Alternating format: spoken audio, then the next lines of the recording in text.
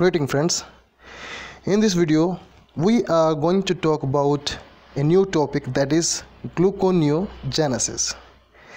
In this topic and uh, the videos which will follow regarding this lecture series we would talk about the gluconeogenesis its biochemical reactions and the coordinated control of glucose that is glycolysis and we can say this gluconeogenesis that is the coordinated regulation of gluconeo uh, glycolysis and gluconeogenesis. So let's start with the first topic that is gluconeogenesis. Here we are only going to talk about the introductory portion of gluconeogenesis. So let's see what here what's here the first slide is uh, about the questions to address. We are going to talk about the gluconeogenesis uh, with the help of questions. So we would discuss the questions and in the course of uh, answering those questions we would finish this topic. So the questions are why we need what is gluconeogenesis which organisms perform this in animals and that is how this gluconeogenesis occur in animals and in plants and in microbes. So let's see the first question. Why we need? Before we answer what is glyconeogenesis we start with why we need this uh, glyco uh, gluconeogenesis. Let's see. Glucose central role in metabolism. That is glucose is central in metabolism. That simply means it plays central role in metabolism. Okay? So we can say that we can say that this is nearly the universal fuel. That is all organisms need it as fuel. And also what more we can say is that it is the building block in all organisms ranging from microbes to humans okay? So next is dependency on glucose. We humans okay? We humans and other animals depend on glucose completely for what? For the metabolic energy of course. So we can say glucose is the sole or major fuel source. That is for human systems like brain and nervous system. And also if we are talking about cells then rbcs or erythrocytes. Other organs we can say like uh, testes renal medulla and embryonic tissues. So this is what I have just talked about for many cells and body systems. So these all including the uh, nervous system and other bodily systems and the cellular types like RBCs and erythrocytes and other organs like testes and renal medulla and embryonic tissues. What is more here? So more than half of glucose is stored as glycogen. This is important. Okay. Important point here is that our brain requires about 120 gram of glucose each day so there is a requirement of 120 gram for our brain every day. Now there is a fact that half of all the glucose present in our body okay?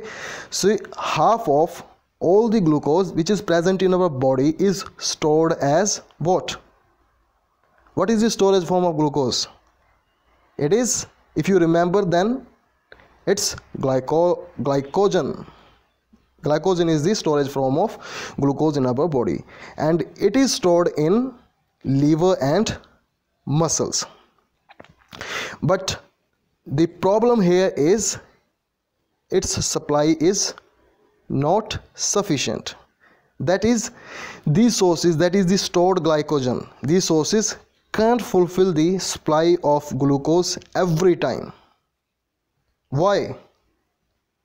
Because during longer or prolonged fasting, that is when we do not eat or after vigorous exercise, we can say glycogen is depleted why so because when we do exercise or when we fast already present glucose or glycogen is converted to glucose and that is used during fasting.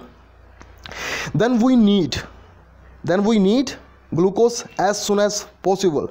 So we need some methods because now glucose is not present. So we need some methods some strategies or processes that can be used in these opposing conditions. That is when this is not present when the supply which is already which was present is already extinguished. When the already present stored glucose can't fulfill energy requirements we need to uh, develop some strategies okay?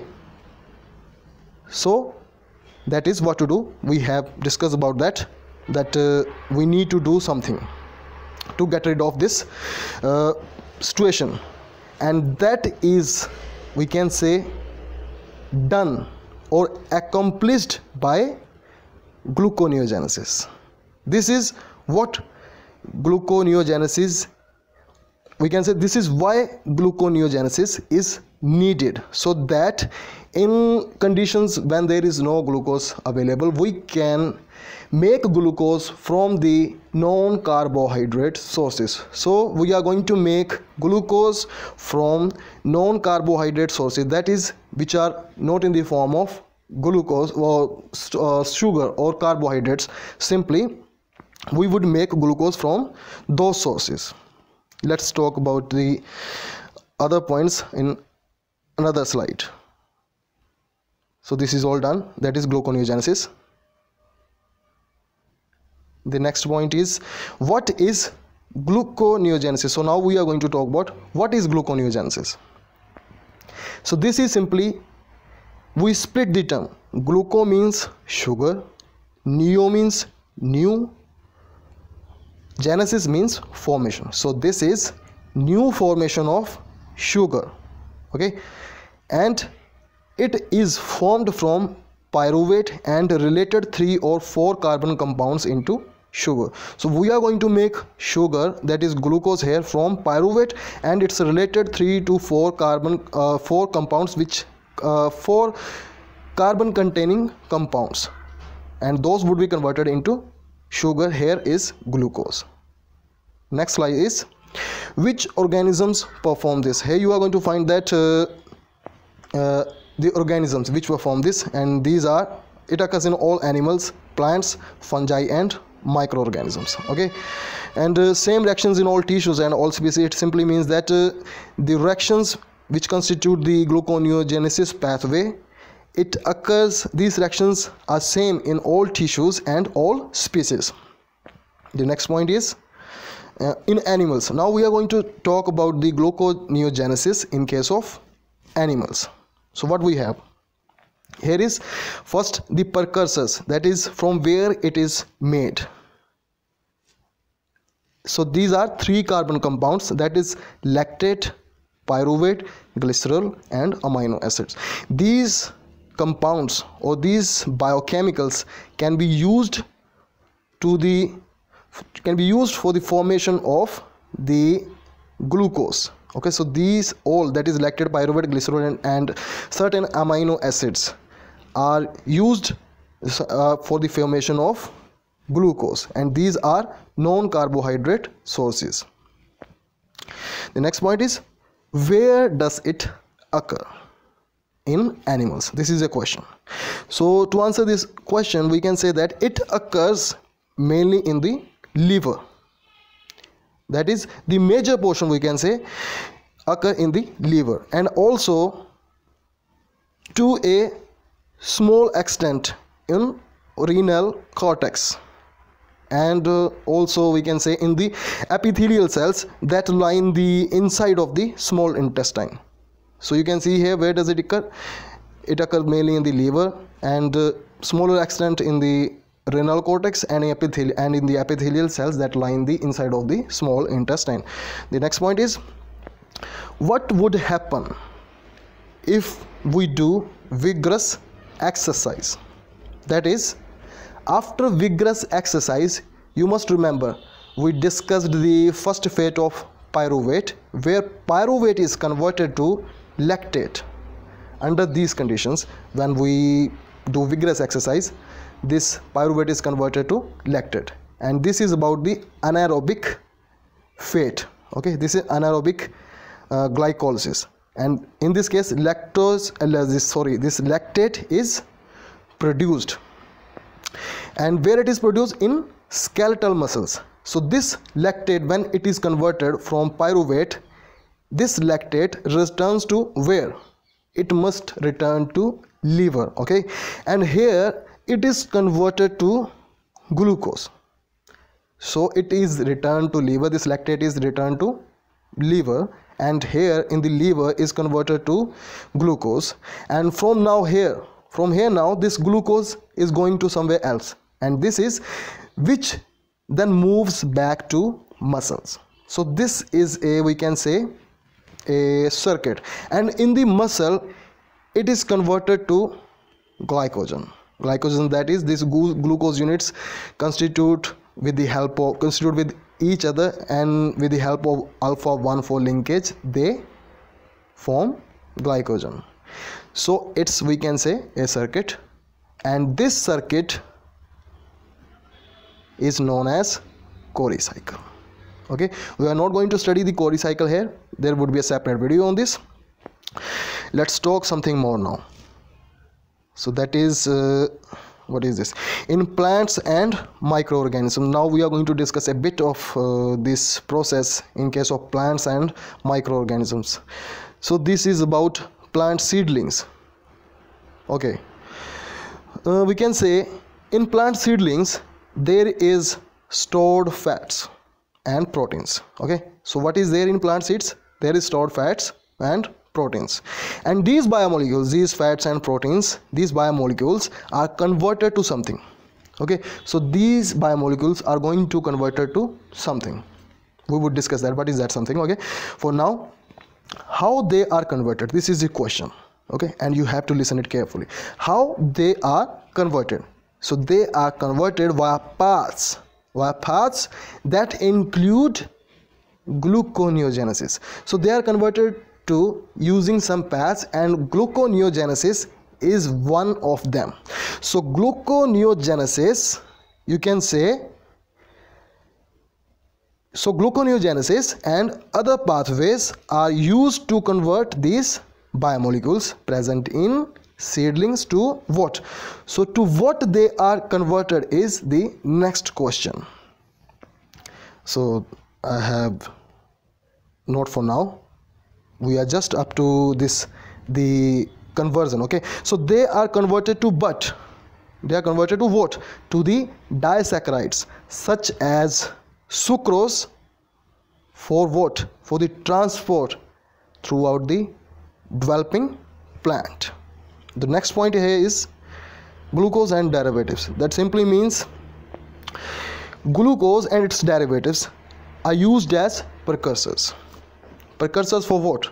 Precursors for the synthesis of biomolecules and structural components synthesis of biomolecules like enzymes coenzymes and uh, cofactors and we can say vitamins so these glucose and, and its derivatives are used as precursor for the synthesis of biomolecules such as we can say these i just talked about this and the structural components this glucose and its derivatives also used as, uh, for the structural components that is we can say here cell wall.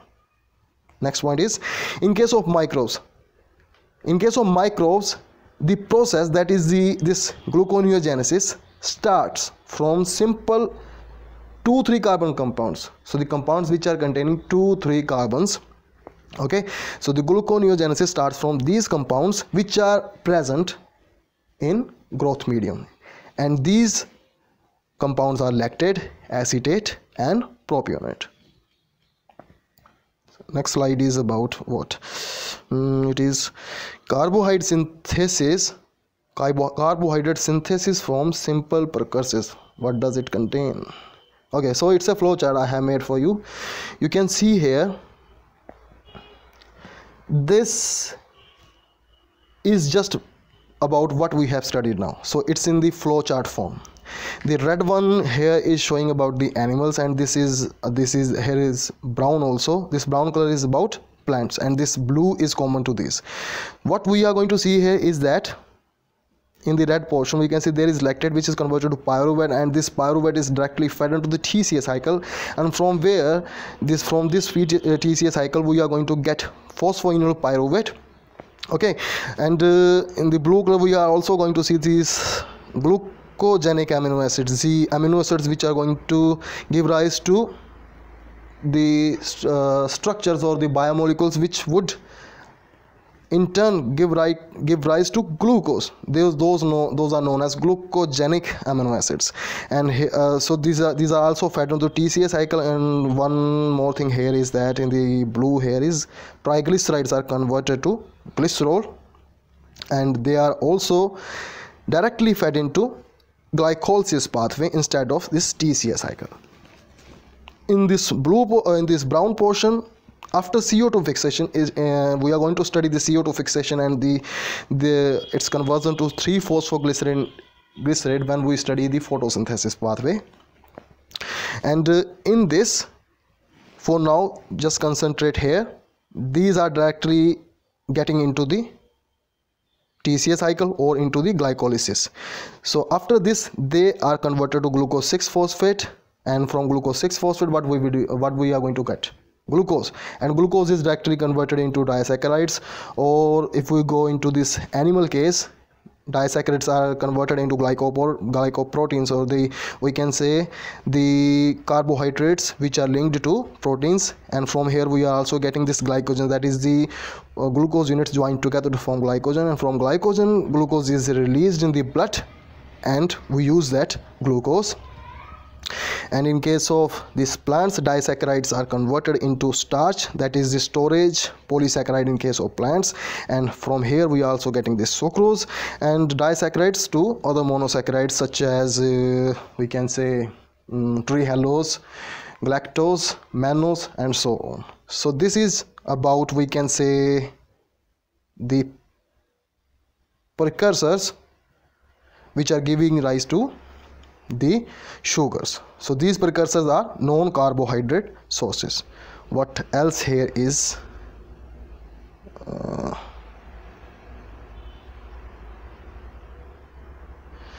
the next is oh, so it is thanks now so it is done. So after this video in the next video we will be discussing the main topic that is the um, we can say the biochemical reactions that constitute gluconeogenesis. Okay so for now thank you